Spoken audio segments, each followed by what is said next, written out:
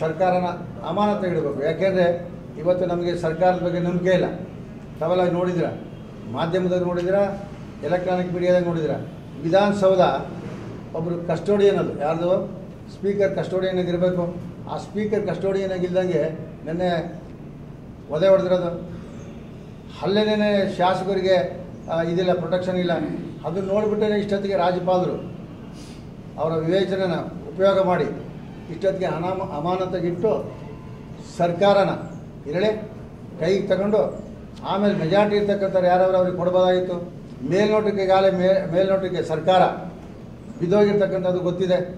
ಅವರು ಶಾಸಕರು ರಾಜೀನಾಮೆ ಕೊಟ್ಟು ಸುಪ್ರೀಂ ಕೋರ್ಟ್ಗೆ ಹೋಗವ್ರೆ ಇನ್ನೂ ಇವರಿಗೆ ಯಾರಿಗೆ ಇರಬೇಕು ಬೇಕು ಅಂತಂದರೆ ಅರ್ಥ ಎಂಥದ್ದು ಅಲ್ಲಿಗೆ ದೃಢವಾಗಿ ಅವರು ರಾಜೀನಾಮೆ ಕೊಟ್ಟಿರ್ತಕ್ಕಂಥದ್ದು.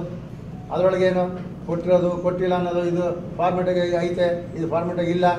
ಇದು ಒಬ್ಬ ಶಾಸಕನ ಶಕ್ತಿ, ಶಾಸಕನ ಯೋಗ್ಯತೆ, ಶಾಸಕನ ತನ ರಾಜೀನಾಮೆ ಕೊಟ್ಟಿರ್ತಕ್ಕಂಥದ್ದು. ಅವನು ವೈಯಕ್ತಿಕವಾಗಿ ಕೊಟ್ಟು ಹೇಳಿರೋನು ಇವರಿನ್ನೂ ಆಟ ಆಡ್ತಕ್ಕಂಥದ್ದು ಸರಿಯಿಲ್ಲ ಸ್ಪೀಕರು ಸ್ಪೀಕರು ಪಕ್ಷಪಾತ ಮಾಡ್ತಾವ್ರೆ. ಸ್ಪೀಕರ್ಗೆ ಏನಾನ ಒಳ್ಳೇದಿದ್ರೆ ಹೇಳೆ. ಇಷ್ಟೊತ್ತಿಗೆ ಅವರೇ ಹೇಳ್ಬೇಕಾಯ್ತು. ಇಷ್ಟು ಗೋಜಲಾಗಿದೆಯಪ್ಪ.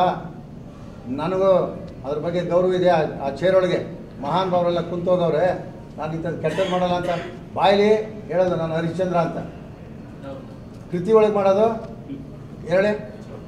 ಕೃತಿ ಒಳಗೆ ಮಾಡೋದು? ಅಲ್ಲವರ? ಈ ಥರ ಇರ್ತಕ್ಕಂಥದ್ದು ಸರಿ ಇಲ್ಲ. ಸ್ಪೀಕರು ಹೇಳೆ. ಯಾರು? ರಬ್ಬರ್ ಹೇಳ್ದಂಗೆ. ಈ ಕಡೆನೂ ಬರ್ತಾರೆ, ಆ ಕಡೆನೂ ಬರ್ತಾರೆ. ಇದು ಸರಿ ಇಲ್ಲ. ಅದಕ್ಕೆ ನಾನು ರಾಜ್ಯಪಾಲರು ವಿನಂತಿ ಮಾಡ್ಕೊಳ್ತೀನಿ. ಸ್ವಲ್ಪ ಕಾನೂನು ಬಗ್ಗೆ ಇಲ್ಲ, ಪ್ರಜಾಪ್ರಭುತ್ವ ಬಗ್ಗೆ ಗೌರವ ಇದ್ದರೆ ತತ್ಕ್ಷಣ ಇವರು ಇದು ಮಾಡಬೇಕು. ಇವತ್ತು ಏನು ಅನಾಹುತ ಆಗುತ್ತೆ ಅಂದರೆ ಸರ್ಕಾರ ಬಿದ್ದಿರೋದು ನಮ್ಮ ಕಣ್ಮುಂದೆ ಕಾಣ್ತಾ ಇದೆ. ಏನು?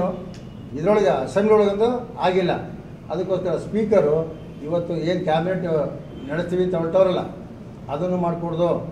ಅವರಿಗೆ ಡಿಸಾಲ್ವ್ ಮಾಡೋಕ್ಕೂ ಹಕ್ಕಿಲ್ಲ ಸರ್ಕಾರ ನಡೆಸೋಕ್ಕೂ ಹಕ್ಕಿಲ್ಲ ಹೇಳಿ, ಇವತ್ತು ತತ್ಕ್ಷಣ ರಾಜ್ಯಪಾಲರು ಕೈಗೆ ಸರ್ಕಾರನ ತಕ್ಕೊಂಡು ಸಾರ್ವಜನಿಕರಿಗೆ ಒಳ್ಳೇದು ಮಾಡಬೇಕು.